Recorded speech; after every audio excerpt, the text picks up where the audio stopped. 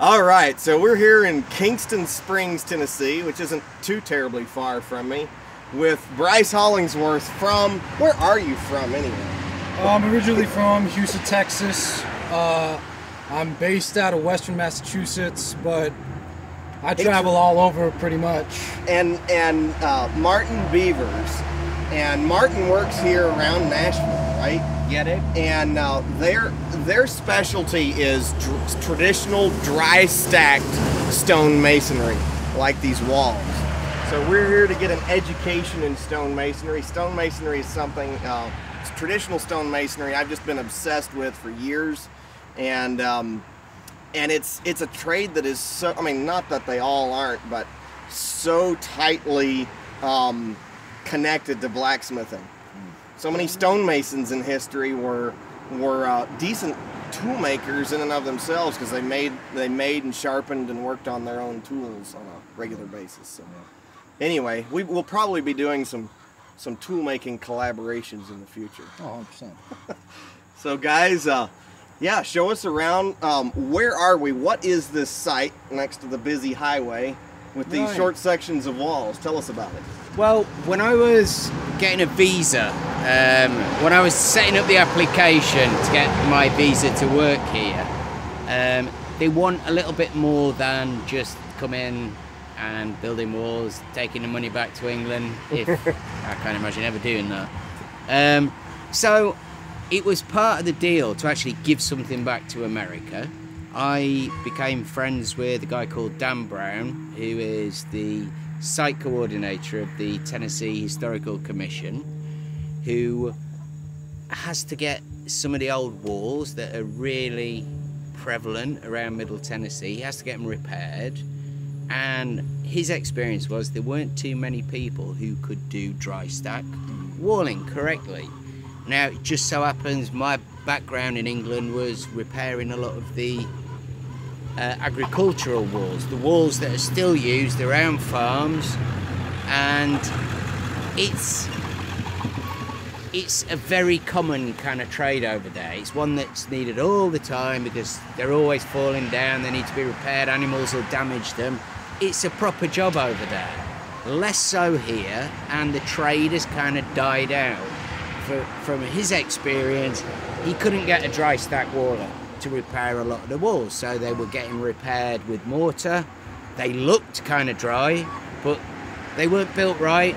The guys didn't know how to they were sticking it together with the inside full of mortar, and that was killing the historic integrity of these walls. So he helped me get my visa, um, and the deal was to trace. It's a lofty ambition, but we're, we're starting. Um, is to reintroduce the trade of dry stone walling back to Tennessee. That's right.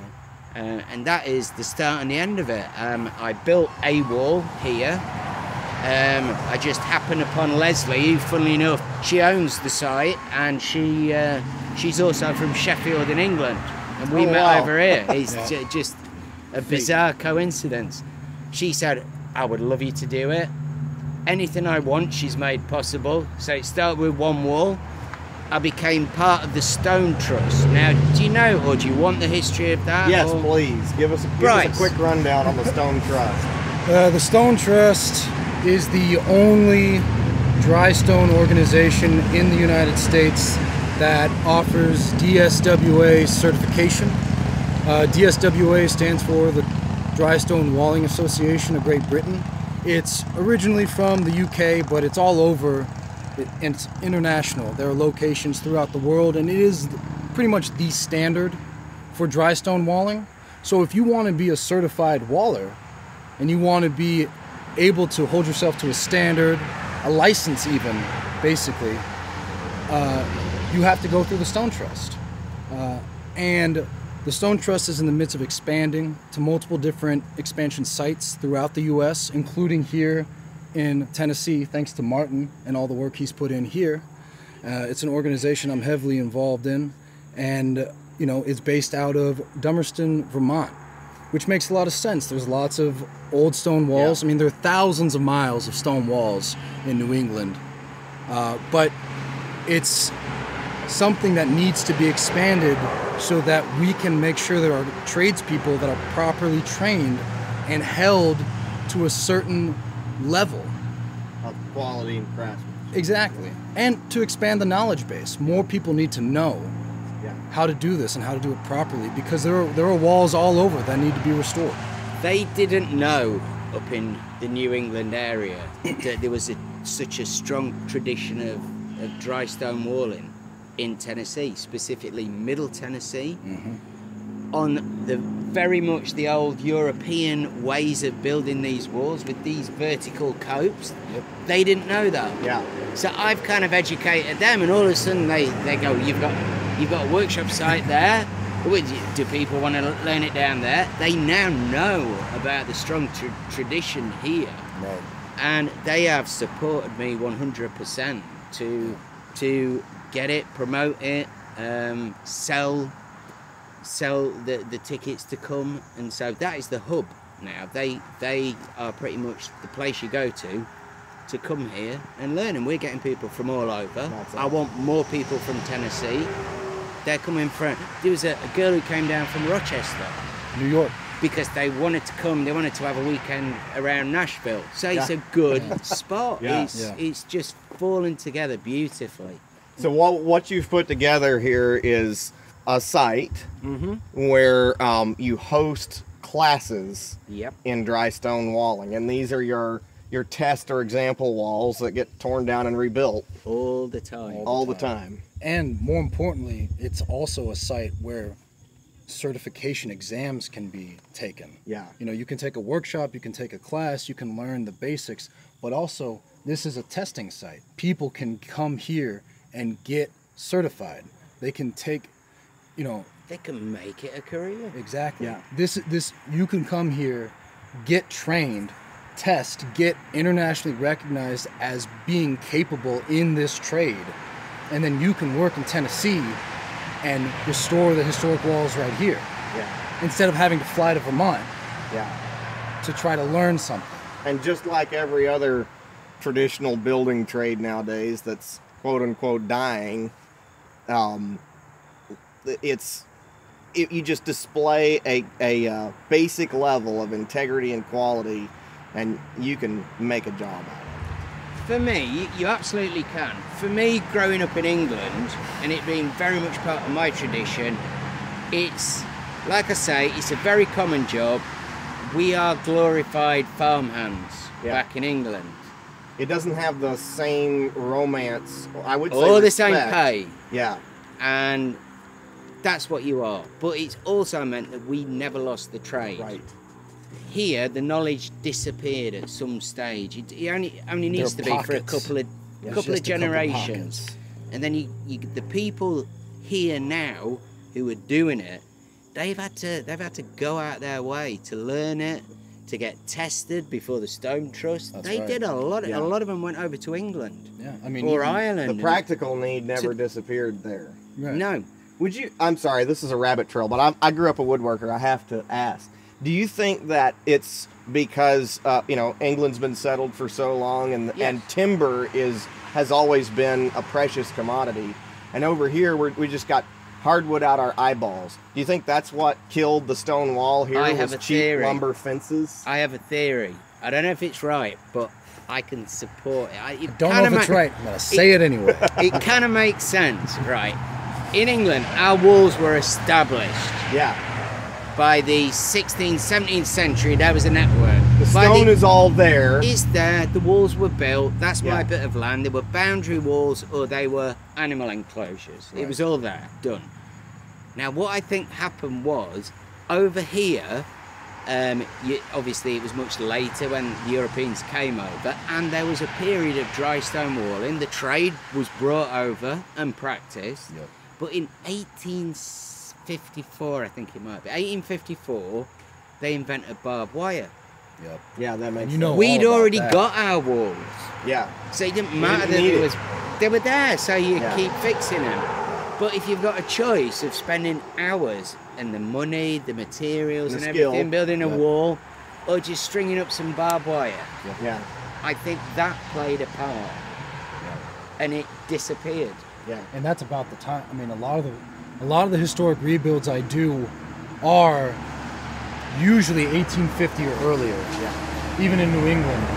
Of course, from the wood side of things, I, I know a little bit about the history in in the colonies in America and in the South. Like split rail fences were the thing up to the Civil War, Right. and then you have barbed wire comes in. Most of the uh, of the vast majority of the rail fences in the South were destroyed by the armies of both sides, Right. burning them for fuel, burning them just to get rid of them to hamper infrastructure or whatever. And barbed wire really came along and replaced it at that time. But anyway, well, show us some walls. Let's. Uh, uh, we're geek, sitting here geeking out about history, but I'm sure some people want to see what we're talking about. In the classrooms, right, we will start with this diagram. And it's very, a lot of people think these walls are just one sided, they've just got a single stack of stone. But that'll show you very clearly. Bryce, go through it, man. Not a problem.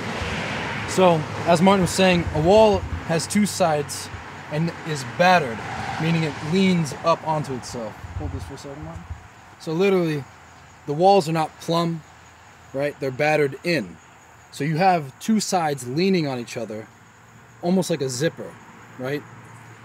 You start your foundations here, which want to start below grade. You want them to be your biggest stones, most stable, and it's got to be able to handle this kind of weight.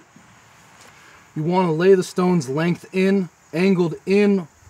You know, if you have to go level, that's about as level as you want to go. You do not want to be pitched down, right? If you're pitched down, the force of this, the stone's going to want to slip and move out. You want the weight down so that's pitched back and it pins the stone together. It's all friction and gravity, right? So you build up your courses to your first lift, which is about halfway, ballpark, and you put in a through stone, which ties the two halves of the wall together. It's very important that you do this because it gives so much structural integrity to the two halves being married. Within, you see these small little blobs here, that's hearting. small stones. You use them to pack the spaces in between and underneath your wall stones because you want to create a solid space. You don't want airspace. You don't want the ability for things to move, get in there. You don't want water to get in, soil, leaves, things like that. So you want to minimize the amount of airspace possible and make it so that these stones don't want to move. If done properly, a wall built in this way will outlast any mortared wall. I mean, there are there are dry stone walls that are thousands of years old. The pyramids are dry. Machu Picchu, dry. Okay? They've been here for a while, they're not going anywhere. So, in the event that you don't have a through stone, because as you can see, finding something of that length might be difficult, you can do what's called a dead man and have two halves that meet in the middle, either touching or overlapping side by side. It's less than ideal, but it's still better than nothing. yeah. And then once you've laid your through stone, you continue up, battering in so the wall thins up so you get to your top height. Now in New England, a lot of times that's where the wall stops. A lot of the walls that were built in New England were actually unfinished. A lot of people left to follow the timber industry or they migrated south. But so you'll see a lot of the walls you see in New England are uncapped and they're exposed. That also is a problem because it allows water to get in, allows soil to get in, allows animals to get in. And then with the freeze thaw cycle, the expansion can cause stones to move and get pushed out. So the cope stone, which you see right here, vertically coped all along here, actually adds a lot of strength to the wall.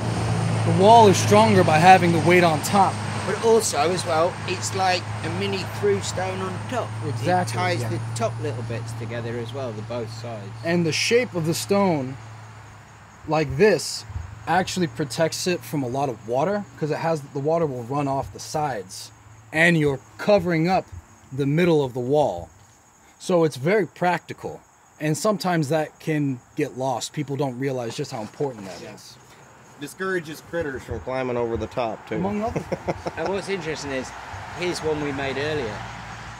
This is, oh, you obviously didn't see that TV show. Um, But yeah, so there's the diagram, and this is the real thing working, doing all that.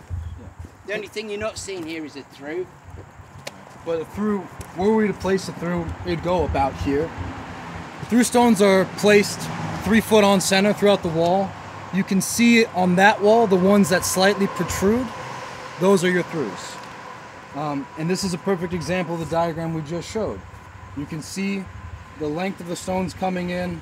You can see your hearting packed. You can see the natural taper of the wall up to your top stone here. This is what the guts of a wall looks like. And, uh, you know, it takes some of the mystery out of it. I think a lot of people kind of build it up in their heads that it's this crazy mystical thing. And it's like, no, it's just you follow the rules, you build it the appropriate way, and you do a good job, and they won't go anywhere. You know, simple as that. Beautiful. Yeah. Could we see a few stones laid? Yeah. We could throw a couple up. I reckon a through would go just I there. think a through would go just there, in I've got a through. Oh, do you? Yes, I do. Alan, let's scoot over here and we'll be able to see them. Put, be able to see them work on the wall. So there's his through stone. See that? He puts that about halfway up so that it ties the whole wall together.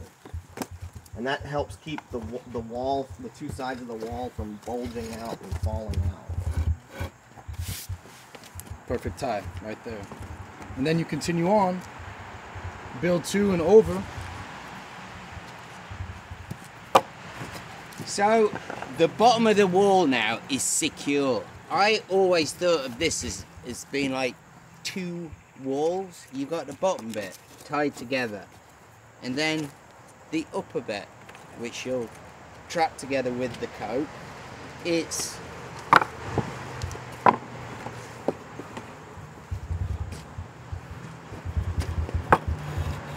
Now, do you ever have to do any shaping? oh yeah, For sure. but But you try to avoid it. well, no, no. Here's the thing. Um, stone types in England, I found, are very much softer. For the first several years of me, me walling over there, and I got taught by a very old guy. Um, he was 85, and he'd built all the walls of this farm, where I'd just shown up and said, "Can I practice on your walls?" and uh, he never used the hammer. Wow. So it was all about finding a shape, fitting a shape. Um, here, the first thing I did, and I came here, came here with one hammer, and I worked up in, and it was a little one. Yeah. Uh, and I went up to Vermont with where the glacial till is, and you got the granites, and you use a lot of tools over here Yeah. It's hard which you stone. must be very pleased about. Um, you kind of got to. The the stone dictates, so you will do some degree of shaping. It's another skill which you need over here. Um, I think equally important as well. So I will teach a lot of people, um, and I will give them just a regular bricky's hammer, bricklayer's hammer, to maybe just take a little bit off. Um, where did it, oh, I went over there. Doesn't matter. Um, but mainly, I'm trying to get them to just fit the shapes together as they are, and you develop an eye for where a stone's going to fit. You, you'll see one. There's not a lot of space here to build up. to, to, to do it, but you can kind of. And so, Bryce, I see you're. I, I, I'm seeing you pack in the hearting, Yeah. and also you're shimming from the inside to get Yes. just the right pitch to the outside stone. You want to you want to pin from the back in place where you want the stone to sit, and then fill the air pocket. So you see, there's a cavity right here. You want to take. You want to fill a space with the least amount of stones. You want to start with a bigger stone to fill that space, and then you want to maximize how much space that stone takes up. And now there's a much smaller space that you fill in with smaller stones, right? Till the cavity's gone completely. You don't want to just throw a pile of really small, Yeah. you don't want to just grab basically gravel and throw that in there. You So want the rule is basically the biggest stone you can fit in the space. Wedge it in. wedge it in. You want them all touching and pushing and pressing on each other, right? You don't this would be the equivalent of like a big problem that we see in this trade is people what I call facing a wall. So instead of length in, they do the whole wall traced. They run the stones run- lengthwise. They in the- maximize the face yeah. footage. They leave a big hollow, and then they just fill it with like three quarter trap rock. And then there's no structural integrity. It's completely hollow. Like water will run right through it and move that gravel around. There's no through stones. There's no length in. And the most the most common failure you see would it be the sides bulging and the and the wall collapsing Yeah. like that? Yeah. Or just falling over. Yeah. because there is no structural integrity. It's base if you face a wall and fill it with gravel, it's basically hollow. In term from a structural standpoint, there's nothing holding it together. So and it works its way down when the when the when the wall shifts slightly it'll work its way down you'll have cavities at the top so ultimately it won't be filled you see that a lot with walls that have failed I love how um, you know y'all have been doing this enough and long enough that um, you know you've just developed an eye. Like rarely are you stuck like that with a rock that you can't use. it's just too big and The ones you pick up, you you know, we you know what you're looking for. Yeah. I mean I think it's like any trade, and I've heard you kind of talk about this, but you just have to do it, Yeah. right? It's not that complicated. You learn the rules, and then you just have to put the hours in. And repetitive practice, um, It's everything.